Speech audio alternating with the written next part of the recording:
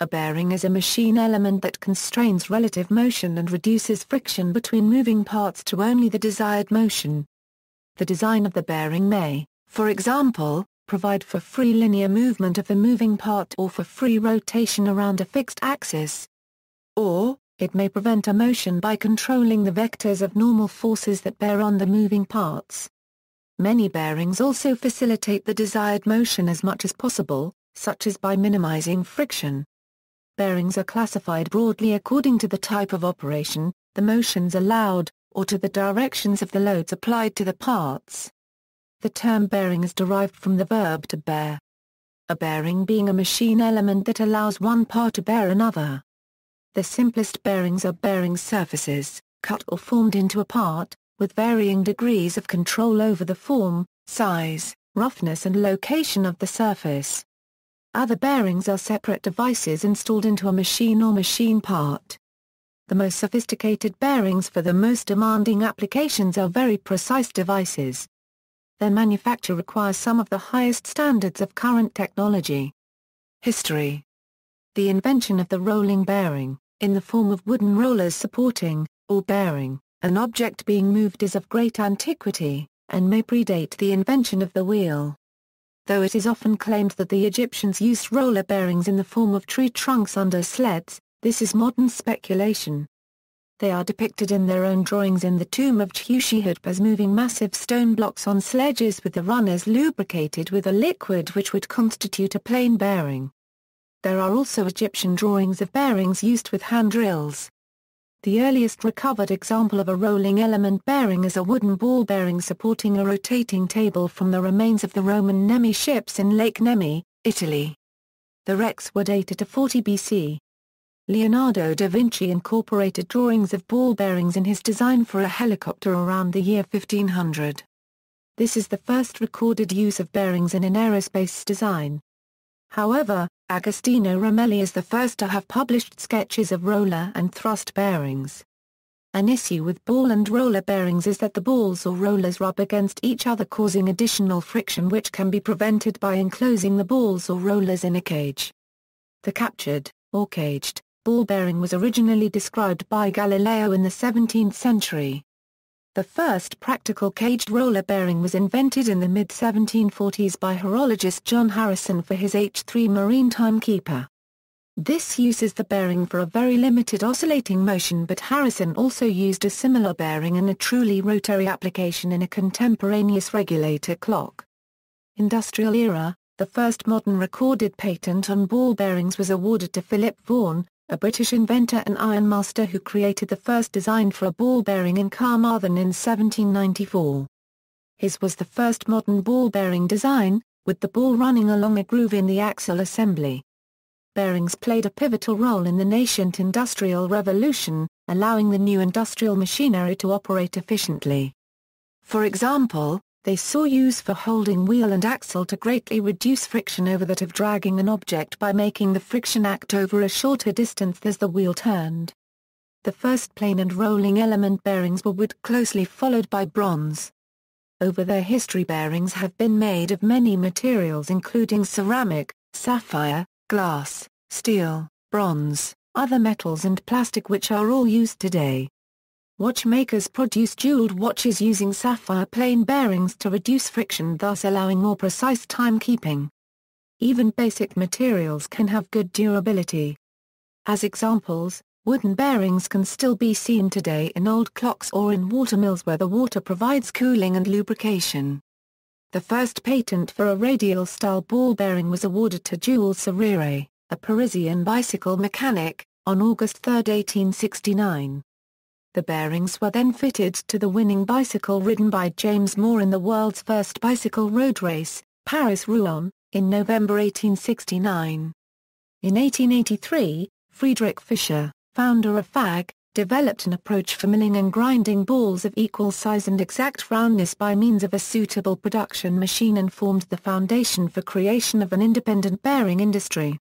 The modern, Self-aligning design of ball bearing is attributed to Sven Wingquist of the SKF ball bearing manufacturer in 1907, when he was awarded Swedish patent number 25406 on its design. Henry Timken, a 19th-century visionary and innovator in carriage manufacturing, patented the tapered roller bearing in 1898. The following year he formed a company to produce his innovation. Over a century the company grew to make bearings of all types, including specialty steel and an array of related products and services. Eric Frank invented and patented the wire race bearing in 1934. His focus was on a bearing design with a cross-section as small as possible and which could be integrated into the enclosing design. After World War II he founded together with Gerhard Heydrich the company Frank and Heydrich KG to push the development and production of wire race bearings.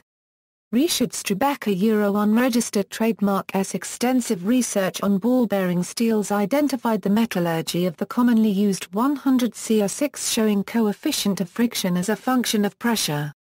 Designed in 1968 and later patented in 1972, Bishop Wisecarver's co-founder Bud Wisecarver created V-groove bearing guide wheels, a type of linear motion bearing consisting of both an external and internal 90-degree V-angle. In the early 1980s, Pacific Bearings founder, Robert Schroeder, invented the first bi-material plain bearing which was size interchangeable with linear ball bearings. This bearing had a metal shell and a layer of Teflon-based material connected by a thin adhesive layer. Today ball and roller bearings are used in many applications which include a rotating component. Examples include ultra-high-speed bearings in dental drills, aerospace bearings in the Mars rover, gearbox and wheel bearings on automobiles, flexure bearings in optical alignment systems and bicycle wheel hubs. Common, by far, the most common bearing is the plain bearing, a bearing which uses surfaces in rubbing contact, often with a lubricant such as oil or graphite. A plain bearing may or may not be a discrete device. It may be nothing more than the bearing surface of a hole with a shaft passing through it, or of a planar surface that bears another. Or it may be a layer of bearing metal either fused to the substrate or in the form of a separable sleeve. With suitable lubrication, plain bearings often give entirely acceptable accuracy, life, and friction at minimal cost. Therefore, they are very widely used. However, there are many applications where a more suitable bearing can improve efficiency, accuracy, service intervals, reliability, speed of operation, size, weight, and costs of purchasing and operating machinery. Thus, there are many types of bearings, with varying shape, material, lubrication, principle of operation, and so on. Principles of operation There are at least six common principles of operation, plain bearing, also known by the specific styles, bushing, journal bearing, sleeve bearing, rifle bearing, rolling element bearings such as ball bearings and roller bearings, jewel bearing, in which the load is carried by rolling the axle slightly off-center, fluid bearing, in which the load is carried by a gas or liquid, magnetic bearing, in which the load is carried by a magnetic field, flexure bearing, in which the motion is supported by a load element which bends. Motions, common motions permitted by bearings are, axial rotation for example shaft rotation, linear motion for example draw, spherical rotation for example ball and socket joint, hinge motion for example door, elbow, knee, friction, reducing friction in bearings is often important for efficiency, to reduce wear and to facilitate extended use at high speeds and to avoid overheating and premature failure of the bearing. Essentially, a bearing can reduce friction by virtue of its shape, by its material, or by introducing and containing a fluid between surfaces or by separating the surfaces with an electromagnetic field. By shape, gains advantage usually by using spheres or rollers, or by forming flexure bearings. By material, exploits the nature of the bearing material used. By fluid, exploits the low viscosity of a layer of fluid, such as a lubricant or as a pressurized medium to keep the two solid parts from touching or by reducing the normal force between them. By fields, exploits electromagnetic fields, such as magnetic fields, to keep solid parts from touching. Combinations of these can even be employed within the same bearing. An example of this is where the cage is made of plastic, and it separates the roller's balls, which reduce friction by their shape and finish. Loads, bearings vary greatly over the size and directions of forces that they can support. Forces can be predominantly radial, axial or bending moments perpendicular to the main axis. Speeds, different bearing types have different operating speed limits. Speed is typically specified as maximum relative surface speeds, often specified foot per second or ms. Rotational bearings typically describe performance in terms of the product dn where d is the mean diameter of the bearing and n is the rotation rate in revolutions per minute. Generally there is considerable speed range overlap between bearing types. Plain bearings typically handle only lower speeds, rolling element bearings are faster, followed by fluid bearings and finally magnetic bearings which are limited ultimately by centripetal force overcoming material strength. Play some applications apply bearing loads from varying directions and accept only limited play or slop as the applied load changes. One source of motion is gaps or play in the bearing. For example, a 10 ohm shaft in a 12 ohm hole has 2 ohm play. Allowable play varies greatly depending on the use. As example, a wheelbarrow wheel supports radial and axial loads. Axial loads may be hundreds of newtons force left or right and it is typically acceptable for the wheel to wobble by as much as 10 ohm under the varying load. In contrast, a lathe may position a cutting tool to a plus or minus 0.02 ohm using a ball-lead screw held by rotating bearings. The bearings support axial loads of thousands of newtons in either direction, and must hold the ball lead screw to a plus or minus 0.002 ohm across that range of loads. Stiffness, a second source of motion is elasticity in the bearing itself. For example, the balls in a ball bearing are like stiff rubber, and under load deform from round to a slightly flattened shape. The race is also elastic and develops a slight dent where the ball presses on it. The stiffness of a bearing is how the distance between the parts which are separated by the bearing varies with applied load. With rolling element bearings this is due to the strain of the ball and race. With fluid bearings it is due to how the pressure of the fluid varies with the gap. Suffixes for bearings common for all types SKF FAG, C1 radial clearance less than C2, C2 radial clearance less than C3, C3 radial clearance more than normal, C4 radial clearance more than C3, C5 radial clearance more than C4, K taper ball, taper of 112, K30 taper ball, taper of 130, self-aligning ball bearings SKF FAG TN9 TV molded polyamide cage, rolling element riding. MM machine brass cage, rolling element riding 2RS 1.2 RS a rubber seal at both ends. Deep groove ball bearing single row SKF FAG, RS1 RS a rubber seal at one end. 2RS 1.2 RS a rubber seal at both ends. ZZR metallic dust shield at one end. ZZ.2ZR metallic dust shield at both ends. MM machine brass cage, rolling element riding MAMA machine brass cage, outer ring riding TNTB machine textile laminated phenolic cage, inner ring riding. ZZR metallic dust shield at one end. RS1 RS rubber seal at one end. 2Z.2ZR metallic dust shield at both ends. 2RS 1.2RS a rubber seal at both ends. TNH TVH molded polyamide cage, snap type cage, rolling element riding. NAP 63 bearing with tolerance class of P6 and radial clearance of C3. Single row self-aligning spherical roller bearing SKF FAG, NAT molded polyamide cage, window type cage, rolling element riding.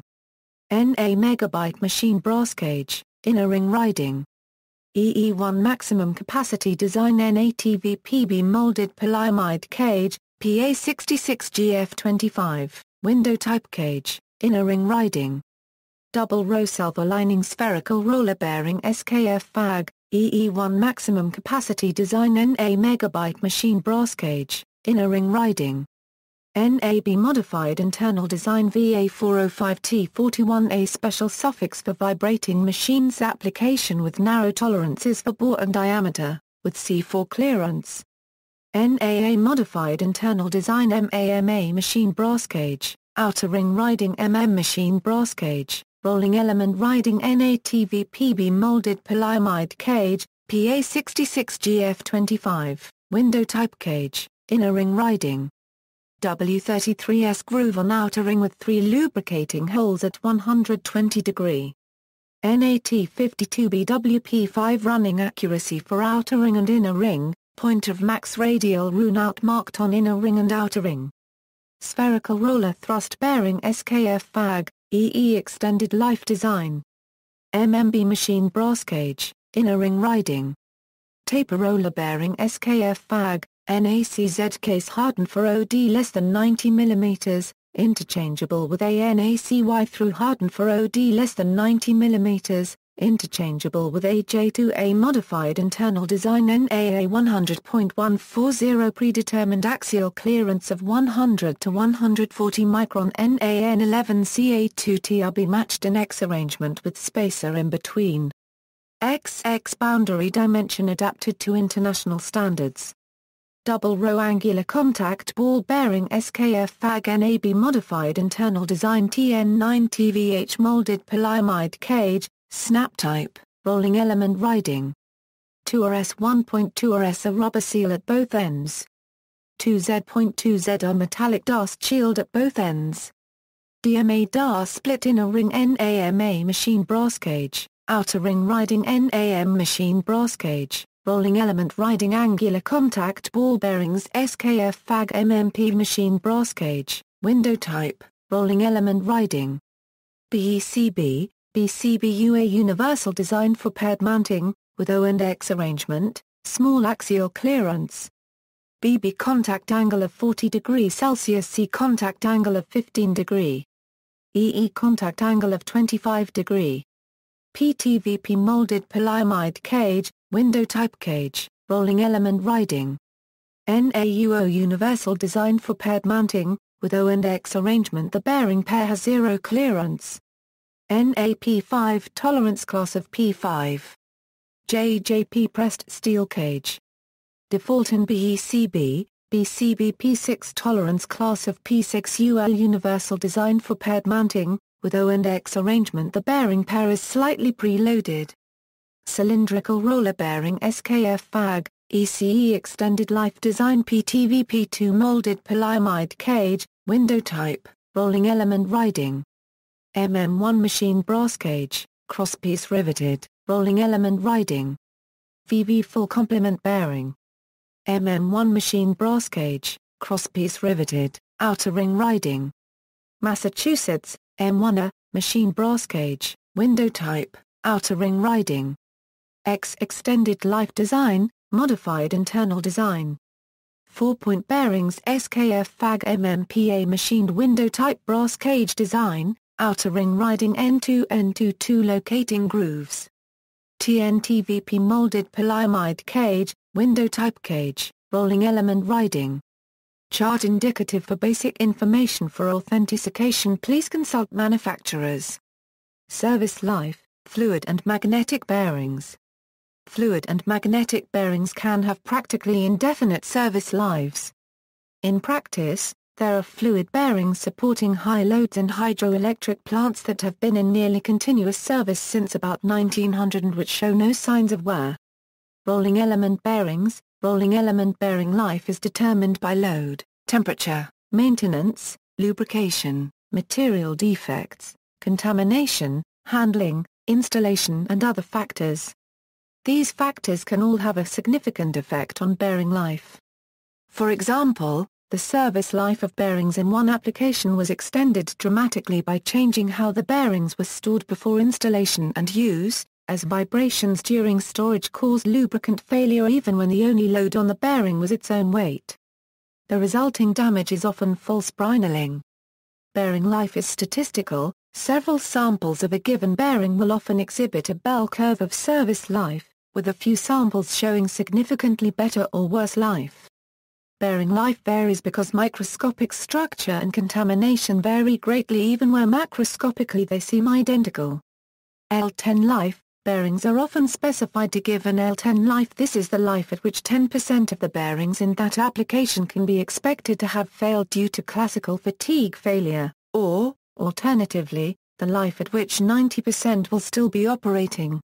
The UL-10 life of the bearing is theoretical life and may not represent service life of the bearing. Bearings are also rated using CO value. This is the basic load rating as a reference, and not an actual load value. Plain bearings, for plain bearings some materials give much longer life than others. Some of the John Harrison clocks still operate after hundreds of years because of the lignum vitae wood employed in their construction, whereas his metal clocks are seldom run due to potential wear. Flexure bearings, Flexure bearings rely on elastic properties of material. Flexure bearings bend a piece of material repeatedly. Some materials fail after repeated bending, even at low loads, but careful material selection and bearing design can make flexure bearing life indefinite. Short life bearings, although long bearing life is often desirable, it is sometimes not necessary. Tedric A. Harris describes a bearing for a rocket motor oxygen pump that gave several hours life, far in excess of the several tens of minutes life needed. External factors The service life of the bearing is affected by many parameters that are not controlled by the bearing manufacturers. For example, bearing mounting, temperature, exposure to external environment, lubricant cleanliness and electrical currents through bearings etc. Maintenance and lubrication Many bearings require periodic maintenance to prevent premature failure, but many others require little maintenance. The latter include various kinds of fluid and magnetic bearings, as well as rolling element bearings that are described with terms including sealed bearing and sealed for life. These contain seals to keep the dirt out and the grease in. They work successfully in many applications, providing maintenance-free operation. Some applications cannot use them effectively. Non-sealed bearings often have a grease fitting, for periodic lubrication with a grease gun, or an oil cap for periodic filling with oil. Before the 1970s, sealed bearings were not encountered on most machinery, and oiling and greasing were a more common activity than they are today. For example, automotive chassis used to require lube jobs nearly as often as engine oil changes, but today's car chassis are mostly sealed for life. From the late 1700s through mid-1900s, industry relied on many workers called oilers to lubricate machinery frequently with oil cans. Factory machines today usually have lube systems, in which a central pump serves periodic charges of oil or grease from a reservoir through lube lines to the various lube points in the machine's bearing surfaces, bearing journals, pillow blocks, and so on. The timing and number of such lube cycles is controlled by the machine's computerized control, such as PLC or CNC, as well as by manual override functions when occasionally needed. This automated process is how all modern CNC machine tools and many other modern factory machines are lubricated. Similar lube systems are also used on non-automated machines, in which case there is a hand pump that a machine operator is supposed to pump once daily or once weekly. These are called one-shot systems from their chief selling point, one pull on one handle to loop the whole machine, instead of a dozen pumps of an Alemite gun or oil can in a dozen different positions around the machine. The oiling system inside a modern automotive or truck engine is similar in concept to the lube systems mentioned above, except that oil is pumped continuously. Much of this oil flows through passages drilled or cast into the engine block and cylinder heads escaping through ports directly onto bearings, and squirting elsewhere to provide an oil bath. The oil pump simply pumps constantly, and any excess pumped oil continuously escapes through a relief valve back into the sump. Many bearings in high-cycle industrial operations need periodic lubrication and cleaning, and many require occasional adjustment, such as preload adjustment, to minimize the effects of wear. Bearing life is often much better when the bearing is kept clean and well lubricated. However, many applications make good maintenance difficult. For example, bearings in the conveyor of a rock crusher are exposed continually to hard abrasive particles. Cleaning is of little use, because cleaning is expensive yet the bearing is contaminated again as soon as the conveyor resumes operation. Thus, a good maintenance program might lubricate the bearings frequently but not include any disassembly for cleaning. The frequent lubrication, by its nature, provides a limited kind of cleaning action, by displacing older oil or grease with a fresh charge, which itself collects grit before being displaced by the next cycle. Rolling element bearing outer race fault detection The rolling element bearing is widely used in the industries today and hence maintenance of these bearings becomes an important task for the maintenance professionals. The rolling element bearings wear out easily due to metal-to-metal -metal contact which creates faults in the outer race, inner race and ball. It is also however the most vulnerable component of a machine because it is often under high load and high running speed conditions. Regular diagnostics of rolling element bearing faults is critical for industrial safety and operations of the machines along with reducing the maintenance costs or avoiding shutdown time. Among the outer race, inner race and ball, the outer race tends to be more vulnerable to faults and defects. There is still a room for discussion if the rolling element excites the natural frequencies of bearing component when it passes the fault on the outer race. Hence we need to identify the bearing outer race natural frequency and its harmonics. The bearing faults create impulses and results in strong harmonics of the fault frequencies in the spectrum of vibration signals. These fault frequencies are sometimes masked by adjacent frequencies in the spectra due to their little energy. Hence, a very high spectral resolution is often needed to identify these frequencies during FFT analysis. The natural frequencies of a rolling element bearing with the free boundary conditions are 3 kHz. Therefore, in order to use the bearing component resonance bandwidth method to detect the bearing fault at an initial stage a high-frequency range accelerometer should be adopted and data obtained from a long duration needs to be acquired. A fault characteristic frequency can only be identified when the fault extent is severe, such as that of a presence of a hole in the outer race. The harmonics of fault frequency is a more sensitive indicator of a bearing outer race fault. For a more serious detection of defected bearing faults waveform, spectrum and envelope techniques will help reveal these faults. However, if a high-frequency demodulation is used in the envelope analysis in order to detect bearing fault characteristic frequencies the maintenance professionals have to be more careful in the analysis because of resonance, as it may or may not contain fault frequency components. Using spectral analysis as a tool to identify the faults in the bearings face challenges due to issues like low energy, signal smearing, cyclostationarity etc. High resolution is often desired to differentiate the fault frequency components from the other high-amplitude adjacent frequencies. Hence, when the signal is sampled for FFT analysis, the sample length should be large enough to give adequate frequency resolution in the spectrum. Also, Keeping the computation time and memory within limits and avoiding unwanted aliasing may be demanding. However, a minimum frequency resolution required can be obtained by estimating the bearing fault frequencies and other vibration frequency components and its harmonics due to shaft speed, misalignment, line frequency, gearbox etc. Packing Some bearings use a thick grease for lubrication, which is pushed into the gaps between the bearing surfaces also known as packing.